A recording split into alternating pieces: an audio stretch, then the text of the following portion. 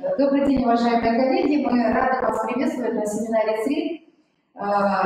Еще раз повторюсь, кто не слышал, да, что мы предварительно подготовили два варианта подключения для вас. Сработал второй вариант YouTube, и ему благодарны бесконечно. Вот.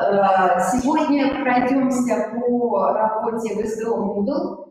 Э, но прежде чем э, я дам слово Елене Васильевне Соловай, я хотела бы обратить внимание вас, преподавателей и особенно деканаты, что немножко сейчас наша работа складывается как-то сумбурно. И я с точки зрения студента решила поискать на сайтах факультетов, где же мне найти информацию, которую я должна изучать, как я свяжусь с преподавателем, и вообще, куда мне э, идти и что делать. В итоге получилось, что на сайтах некоторых факультетов институтов э, нет никакой информации по расписанию занятий в онлайн-режиме. Но на некоторых сайтах я нашла, и достаточно интересно это было представлено. Например, факультет дошкольного образования. Э, факультет дошкольного образования очень интересно разместил информацию для самостоятельной работы студента заочной формы обучения. Э, они создали э, по группам определенные файлы, в которых записали дата проведения занятия, учебная дисциплина, тема и источники для самостоятельной работы с прямыми ссылками. Я думаю, что это весьма удобный вариант для всех.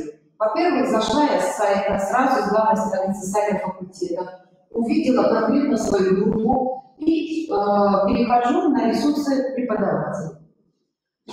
Э, другой факультет, как он поступил, э, мне тоже понравилось, это естествознание, факультет естествознания. Они пошли тоже по интересному пути, онлайн-лекции на факультете естествознания. А, сразу дается у них перечень лекций, когда проводится, кто проводит, а, по каким курсам. Виртуальную комнату факультета на платформе Big Blue Button. То есть студент, он уже видит, что будет происходить, когда будет происходить и где будет происходить. Еще один ресурс, который у нас э, в университете создан, это электронное расписание. Электронное расписание.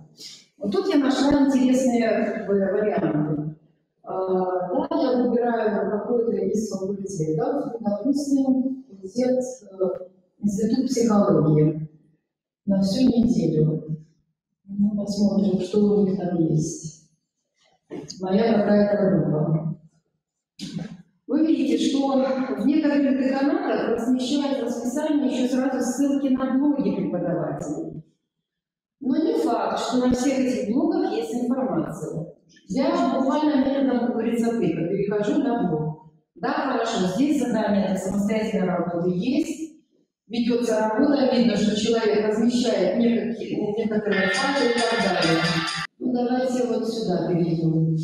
Тут тоже есть. Но если, к сожалению, как бы в расписании отмечено ссылкой подсвечен блок преподавателя, переходишь на блок, он совершенно пустой.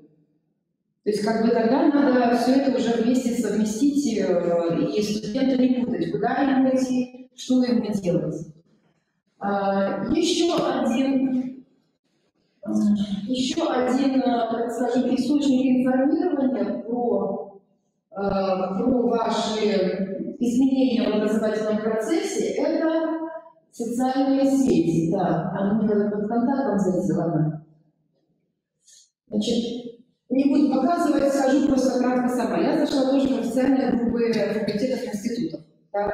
В официальных группах факультетов институтов ничего не написано про то, когда, что, кем и как будет проводиться. То есть получается пока у нас ситуация, я бы так сказала, требует, требует систематизации. И хотелось бы обратиться к прежде всего представителям деканата, а, чтобы э, единый формат представили в деканате для преподавателей. Преподаватели, я наблюдаю, они находятся немножко в таком состоянии запутанности. Кто-то идет к нам в ЦРИК напрямую. Далее, деканаты присылают нам списки на открытие курсов. И э, сотрудники мои не понимают, кому какой курс, когда открывать. Поэтому, коллеги, убедительная просьба.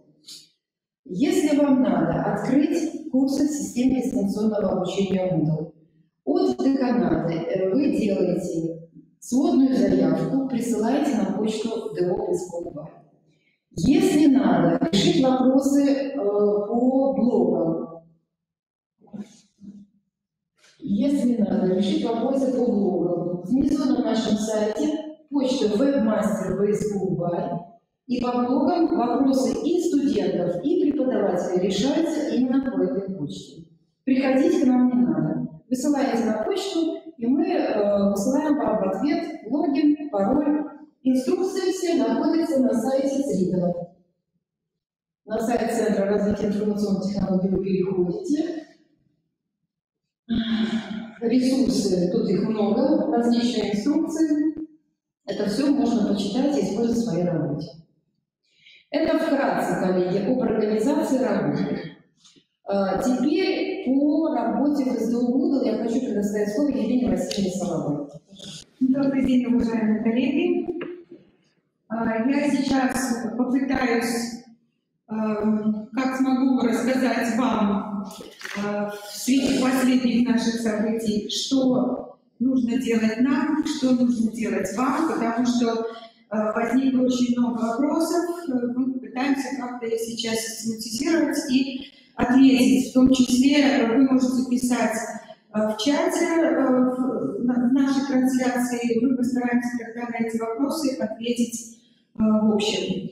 Значит, начинаем мы, вот вы видите здесь, все уже, наверное, знают, кто работал, кто не работал, что такое система Moodle она зайти туда, давайте я вам сразу скажу, как туда зайти, как ее найти, потому что такие вопросы тоже у нас э, возникают. Самый простой способ зайти в эту систему – это зайти на наш сайт БГБУ. Вот наш сайт БГБУ, как туда зайти, все знают. Вот здесь есть закладочка «Образование», и тут дистанционное обучение. И после того, как вы нажали на ссылочку «Дистанционное обучение», вы сразу попадаете на главную страницу нашего учебного, учебной платформы системы дистанционного обучения Moodle. А, здесь сразу вы видите всю информацию, справочную, информационные, все наши методические разработки, которые очень полезны для каждого разработчика, для каждого преподавателя и для студента. Поэтому, пожалуйста, если даже вы уже знаете, как заходить сюда через другие способы входа, через личный кабинет, через, может, у вас в блоге есть ссылочки, но я попрошу время от времени все-таки заходить на главную страничку и читать нашу информацию. Здесь указан наш адрес электронной почты, да, собачка по которой мы принимаем любые заявки Оксана Анатольевна уже сказала э, по поводу э, вот новых заявок от факультетов. Э, нам, конечно, было бы проще работать с коллективными заявками, но я сейчас чуть позже расскажу, как лучше всего ее оформить для факультетов и для, конкретно для каждого преподавателя. Здесь есть помощь разработчикам дистанционных курсов. Вот целый такой блок у нас есть. Мы разработали, чтобы каждый раз не а, объяснять каждому, не напоминать тому, кто что-то уже забыл, если давно не пользовались. Мы сделали такие, э, ну, методические, методические, как их назвать, э, рекомендации, в частности, э, тем, кто начинает, допустим, разрабатывать. Здесь есть такая вот ссылочка создания элементов курса в Moodle. Да? Начинаем с этого. То есть если вы впервые начали, вам создали курс, значит, заходим сюда, создание элементов курса, Вот такой, такой документ, который вы можете себе скачать, на себе компьютер распечатать, положить себе как настольную книгу и ей пользоваться. Здесь расписано четко раз, два, три, четыре, пять, что зачем делать. Чтобы создать описание курсу, пояснение и так далее. Добавление форма, добавление гиперссылки, добавление файлов, страничек, ну, лекции, как формировать. То есть все-все расписано, как оформлять, как заполнять. Я думаю, что любому преподавателю это, этого будет достаточно. Значит, понятно, с чего начинаем. Дальше, примерный формат дистанционного курса. Вот он. Что должно у вас в итоге получиться? Оптимально. Я не хочу слушать нашу. У меня пальцы холодные. А, значит, здесь пример дистанционного курса для всех разработчиков. Открываем, смотрим, как он должен выглядеть после того, как вы с ним поработали. Это, конечно, пример приблизительный, может быть у кого-то больше всего, может меньше, но если это фактически мы делаем для создания интерактивных электронных учебно-методических комплексов, это полностью вот максимальный курс. Значит, что я хотела еще сказать, э, немножко вернусь по заявкам. Таким э, образом, все заявочки вы присылаете на создание. Может, человек уже, допустим, работал раньше в МУДе, э, но вам нужно создать новый курс. То есть э, у вас уже какие-то курсы есть, создать новые. Вы нам пишете заявочку в свободной форме, пишите «прошу такой-то фамилия, имя, отчество, должность, факультет кафедра, прошу создать новый курс. Так, и мы ждете, пока мы вам на вашу почту в ответ напишем, что курс создан, вы можете работать. Вы можете и сами посмотреть, зайти на свой факультет кафедру и посмотреть, есть ли уже ваш курс там. Если же вы ни разу еще не заходили в систему Moodle, то есть вы человек новый, значит, вам нужно для, этого, для того, чтобы здесь начать работать, нужно создать учетную запись. А, для этого вы также подаете заявку, если вы это отдельно от факультета делаете. То же самое вы указываете, прошу создать учетную запись. А, и пишите. Факультет, кафедра, фамилия, имя, отчество полностью, а, логин, пароль придумываете, Э, я рекомендую, э, для, практически у всех уже есть блоги, поэтому я рекомендую указывать логин и пароль те же, что и у вас есть в блогах, тогда вы не будете путаться. Ну, это уже ваше решение. Значит, вы напишите логин, пароль э, и название курса или курсов, если их несколько, которые мы вам должны создать. И тоже ждете ответа. После того, как мы вам ответили, вы начинаете работать. А сейчас у нас очень большая загрузка, поэтому, э, пожалуйста, наберитесь терпения, а, потому что заявки обрабатываются не быстро, людей у нас тоже немного, заявок приходит по 100 штук в день, поэтому иногда 2-3 дня бывает, что мы не успеваем все сделать. Ну, что делать? Такая вот у нас жизнь наступила. Это касается только тех, у кого курса нет вообще. Это у кого курса нет вообще. Если у вас уже просто создать курс, уже у вас там их много, создали курс, то это делается просто. Дальше, кроме того, что мы, вы создаете курс, мы создаем вам учетные записи, иногда забываете пароль, ничего страшного, вы тоже пишете заявочку нам, э, чтобы мы вам изменили пароль, Э, восстановили, мы вам делаем новый пароль, высылаем, вы дальше начинаете работать. Эм, это все делается, конечно, быстрее, чем создавать учетную запись. Э, если... Так, что я еще забыла вам рассказать? Э, ну, как, как, созда... как заявочки эти оформляются, я думаю, вы сами разберетесь. Эм, СРИД создает, то есть мы, наш отдел создает только оболочку курса э, с э, универсальными настройками на этот курс. Значит, само наполнение, наполнение самого курса происходит, конечно, производится самими преподавателями. Вот, я уже говорила, где взять информацию, как это делать. Вот, и э, я думаю, что будет, э, будет неплохо, если вы э, привлечете к этой работе своих лаборантов на кафедрах, э, молодых каких-то своих преподавателей, аспирантов, магистрантов, потому что это все нужно быстро. Вот, э, они уже с этим знакомы, они это вам быстро все сделают. Кроме всего того, что я вам наговорила, Значит, я хочу еще всех преподавателей, всех разработчиков курсов отправить. Вот здесь у нас есть две инструкции, э, очень подробные, очень развернутые, с картинками, с э, примерами. Это э, инструкции, которые размещены на открытой платформе Stepik. Так, есть такая открытая платформа, совершенно бесплатная. Мы там создали две наших, два наших курса. Это инструкция для преподавателей по работе в СБУ так? и инструкция для студентов. То есть, если это студенты, которые еще, может, первый курс или кто-то, заочники не знают, как работать, вы, пожалуйста, посылайте всех на главную страницу системы Moodle и объясняете, что там есть две инструкции. Инструкция для студентов и вот руководители факультетов могут своим преподавателям тоже напомнить, даже что есть замечательные инструкции для преподавателей.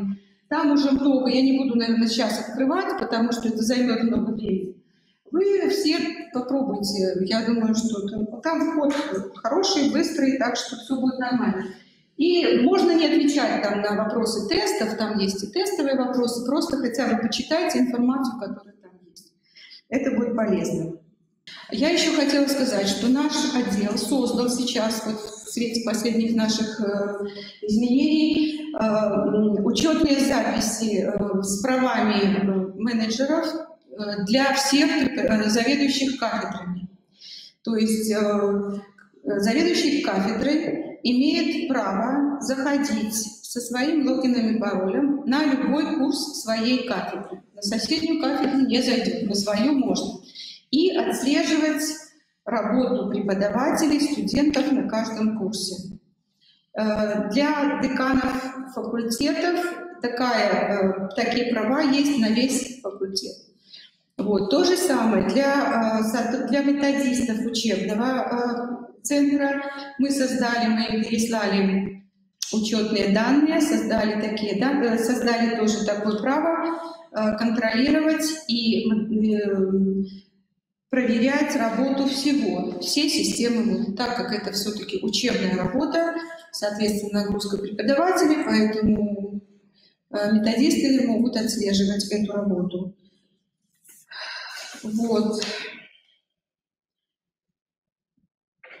принципе, наверное, здесь вот тоже на главной странице хотела бы всех отослать сюда, смотреть. Э, каким образом? Есть здесь положение об интерактивном нашем электронном учебно-методическом комплексе. Вот оно тоже, можно его нажать, скачать, распечатать и смотреть. Требования структуре. Тут разделены интерактивный электронный комплекс и обычный электронный учебно-методический комплекс. Разница в чем? Интерактивный – это с использованием различных интерактивных элементов, это задания, Э, тесты, э, ссылки там на всякие виртуальные работы. Э, обычный ЭУМК – это тут могут быть даже PDF-файлы. Единственное, что здесь сам курс придерживается структуры учебно-методического комплекса. То есть, если кто-то не хочет делать интерактивный или просто не успевает, вы можете пользоваться вот этой, этим блоком. Тут есть требования, Э, пример заявки, если вы хотите регистрировать, но это уже вопрос второй. О регистрации сейчас, наверное, мы пока не говорим, но здесь вот вся информация выложена. Вот, так что вот в принципе все, что я хотела вам сегодня рассказать.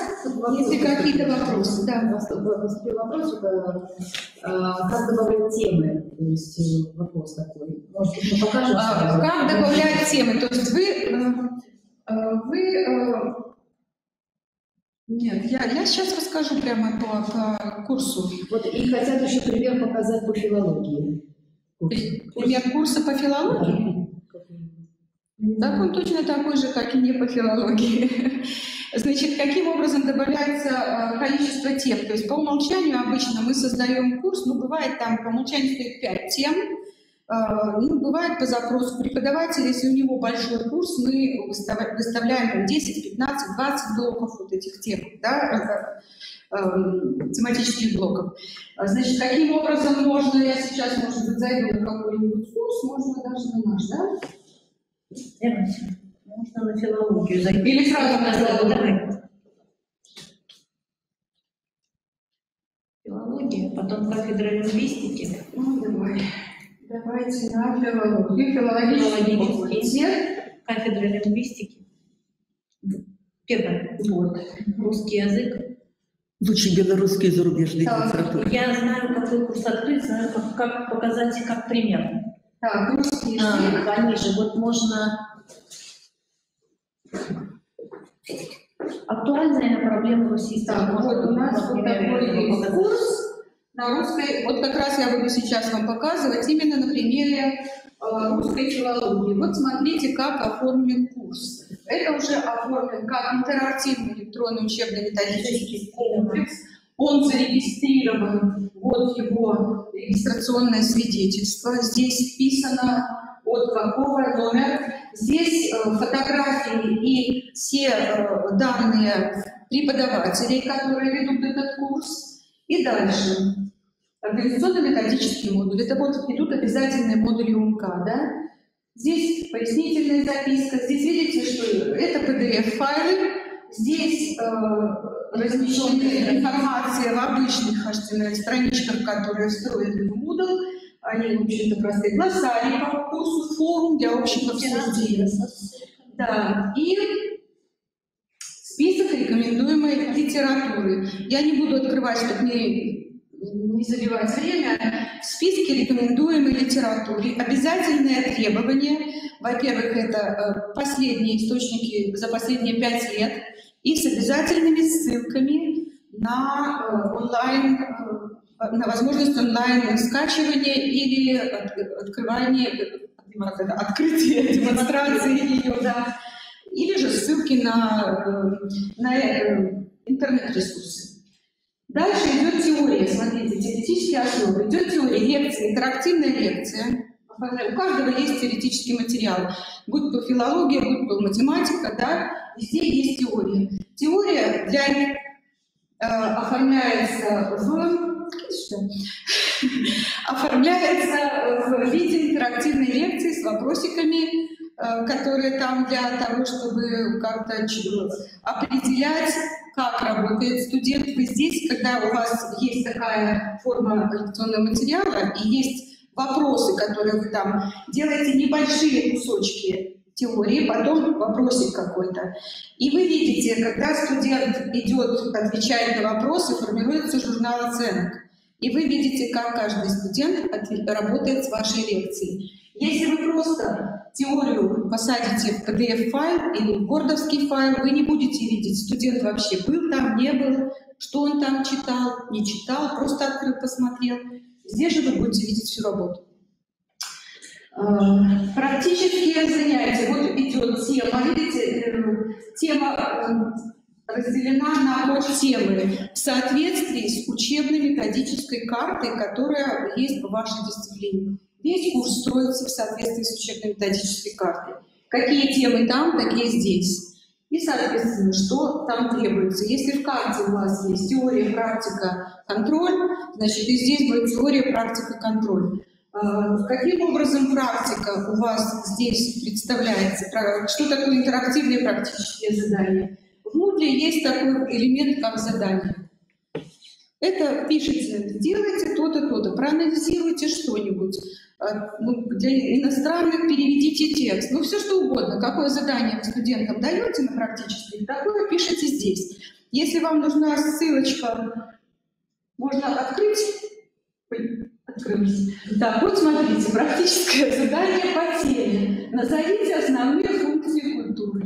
Тут идет в виде а, Несколько вопросов. несколько вопросов. А, одно. Следующий. какие современные подходы, ну и так далее, я не буду все перечитывать, да? Э, Продолжите следующие метафоры, допустим, какие особенности отражены в ваших примерах. Дальше скопируйте, это вот в задании пишется для филологов, скопируйте текст, всех заданий, что нужно сделать. Вот само задание, да, что нужно студенту сделать, вот красным здесь. Скопируйте, нажмите кнопку «Добавить ответ на задание», в поле «Ответ» в виде текста. Вставьте скопированный текст, то есть это вот стандартный такой, выполните условия, тут подмечайте в Word, допустим, и нажмите кнопку «Сохранить», и преподаватель получит у себя ваш файл с ответом. И сделает уже лицензию на ваши ответы, поставит там, будет у него от- открыт, от- от- откроется ячеечка для оценки, ваши ответы будут оценены. И, соответственно, войдут в журнал оценок, которые здесь есть по каждому элементу. Вот это вот интерактивное задание. Это фактически то, как вы работаете со студентами в аудитории, только индивидуально для каждого. Ну да, преподавателю немножечко придется больше поработать, потому что надо будет каждое задание проверить. Ну, как сочинение мы проверяем, ну так. То есть для филологов, в принципе, достаточно много э, вариантов. То есть тут надо включить свою фантазию, свою. И, в общем-то, ну.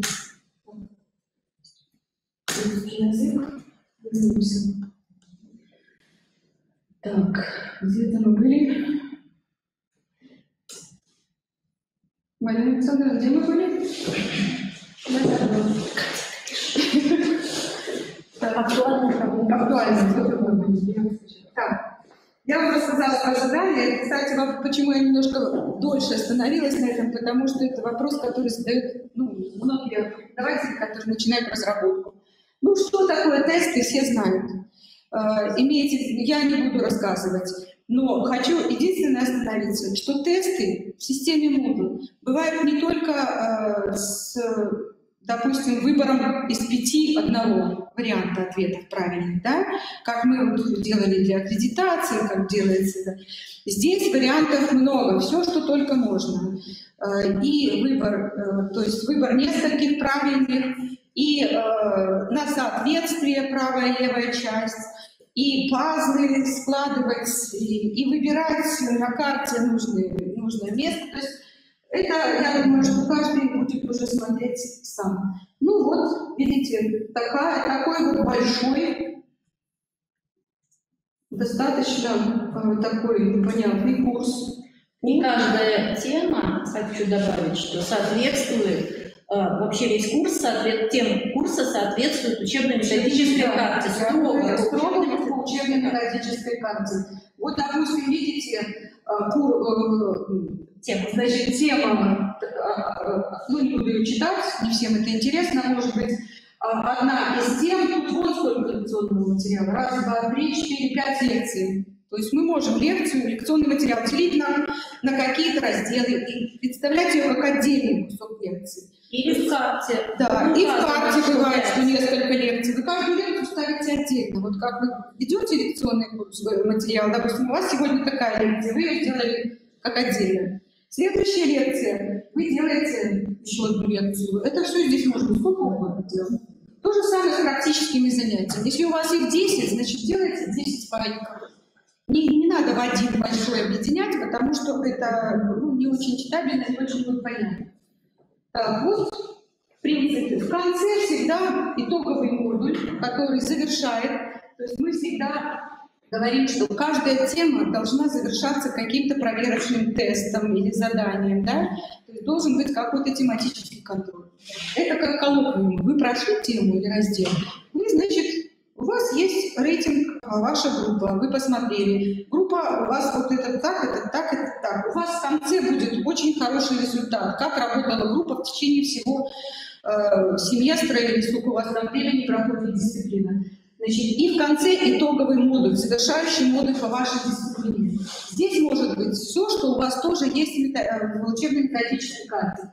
И вопросы и задания для самопроверки сюда, и темы докладов, темы рефератов, вопросы к зачету, к экзамену и итоговые тесты.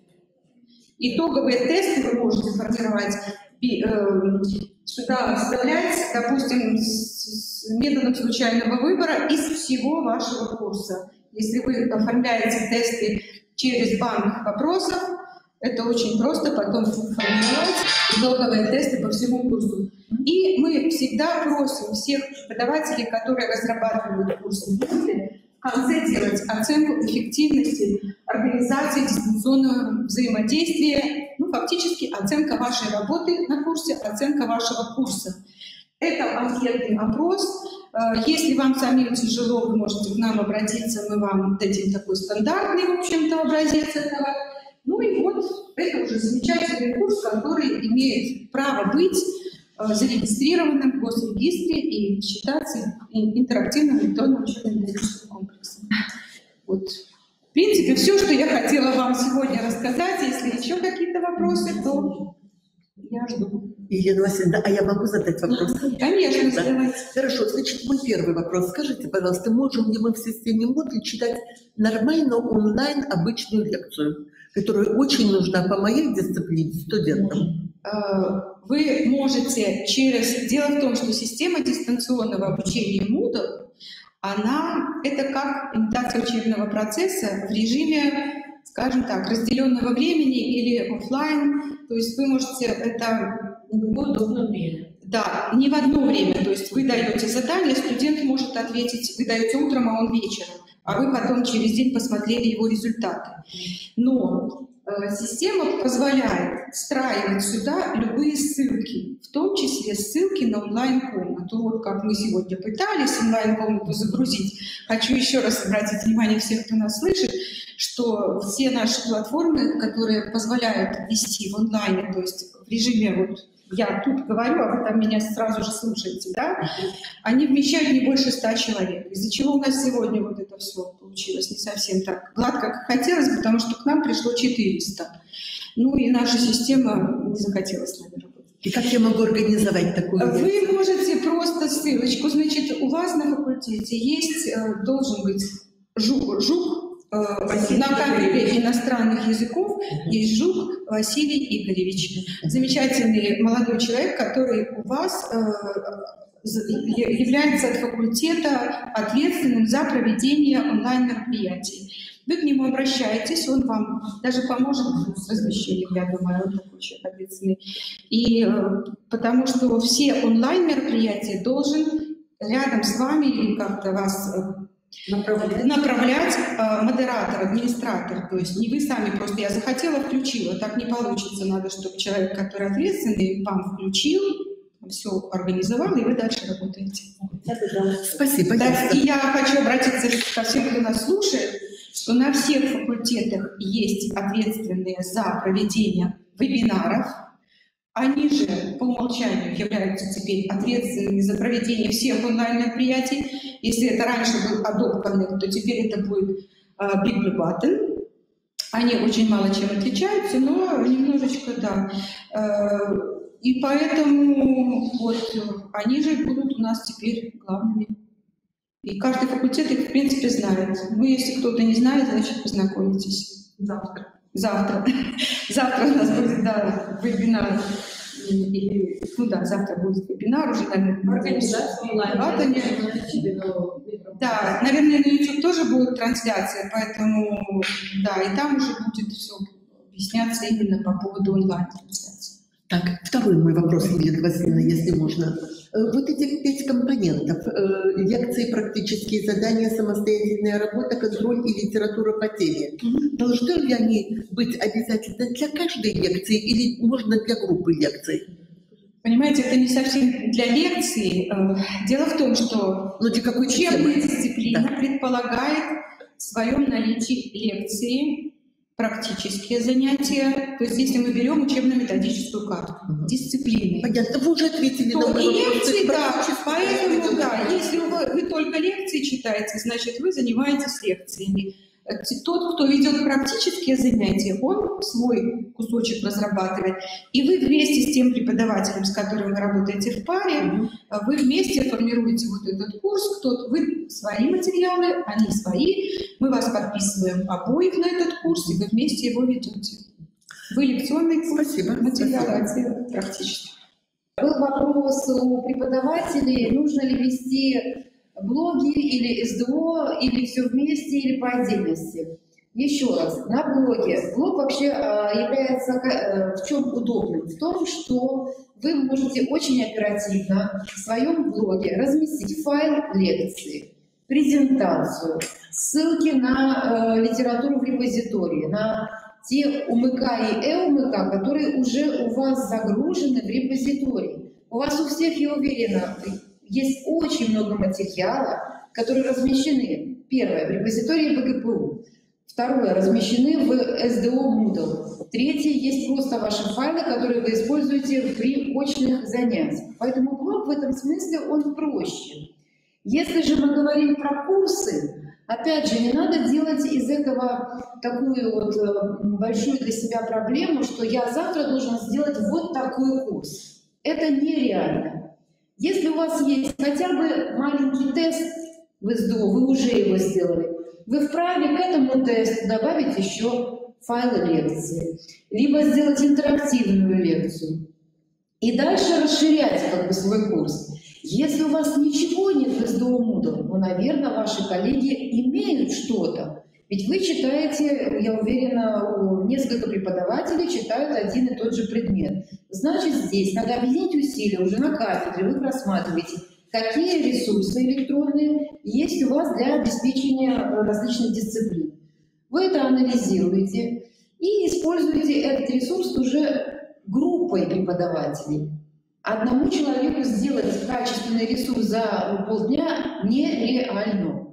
Поэтому не бойтесь использовать как ресурсы кафедры, факультетов, так и блоги преподав... свои личные блоги для того, чтобы оперативно э, донести нужную информацию для студентов.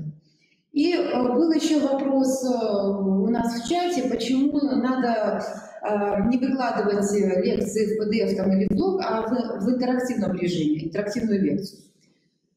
Э, Коллеги, интерактивная лекция, во-первых, она э, дается маленькими кусочками, то есть дозирование материала. И после маленького кусочка лекции вы можете строить пару проверочных вопросов, заставить или, так скажем, побудить своих студентов более внимательно прочитать представленный кусочек. Это первое. Второе. Google Apps, вы знаете, где Google Apps сейчас я покажу. Э, Значит, э, Play Market. На Play Market, если э, скачать э, приложение э, к Moodle, то в курсах можно будет заниматься с мобильных телефонов, что тоже у нас сейчас очень популярно. Moodle, вот, приложение Moodle скачивается на ваш телефон мобильный, туда вводится наш адрес на БСБУ Moodle, и э, студенты, преподаватели могут заходить уже в курс не, не только с компьютера, а и с мобильных телефонов. То есть наш, э, наша система дистанционного обучения, она оптимизирована под эти задачи, и вы можете работать при помощи мобильных телефонов. Э, Завтра, завтра мы э, будем с вами работать в таком же режиме. Мы запустим YouTube-канал и э, мы запустим Big Blue Button. Но мы сделаем ограничение по входу. То есть для каждого факультета вышлем код, э, который, э, так скажем, будет позволять э, входить ну, где-то примерно 10 человек. 10 человек от факультета. Чтобы у нас не было вот сегодня повтора сегодняшней ситуации. И раздать этот код тоже 10. Да, и, пожалуйста, просим организаторов на факультетах раздать это 10, э, так скажем, пользователям, не более. Э, завтра мы как раз-таки покажем еще раз, как можно проводить онлайн-лекции. Да? При том, что онлайн-лекции, когда вы проводите, вы их в обязательном порядке должны записать, и потом это будет, первое, ваш последующий учебный материал для следующих курсов, и отчет перед деканатом, ректоратом, что работа была проведена. То есть вот таким форматом мы будем работать в, это- в этот период. Да. Вопросы еще есть у нас в чате? Нереально сделать качественный практический курс одному или за полмесяца. Э, Одному за полмесяца качественный курс, ну реально, конечно. Реально. Реально. Больше ничего не делать. Если больше Да, ничего не если делать. только- И если у вас есть уже собран материал. То есть если материал есть в виде презентаций, тестовых заданий, э, списков литературы и так далее, то это вполне реально. Да, это вполне реально. Больше Ну да, больше ничего не делаем. Еще вопросы? Студентов привезли. Все, спасибо, коллеги, большое. Завтра мы с вами встретимся еще раз. До свидания.